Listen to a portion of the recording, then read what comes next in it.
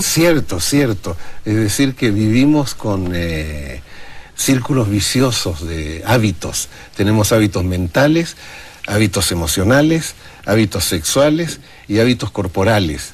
Entonces, cuando rompemos los hábitos, aparece una nueva dimensión de nosotros mismos, porque en el fondo somos tan infinitos como el universo. Pero la familia, la sociedad, la cultura, nos ponen un molde. Cuando nos salimos del molde empieza la curación. Y no solo eso, hay que hacer algo que nunca haya hecho uno y mientras más difícil, mejor.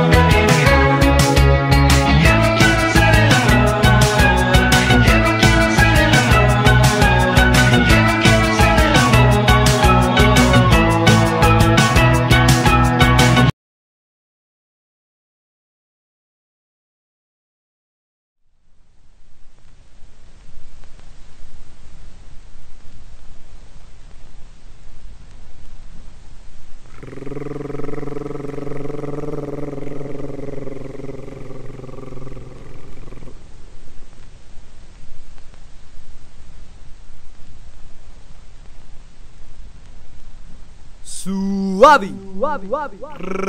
Rat. Rat.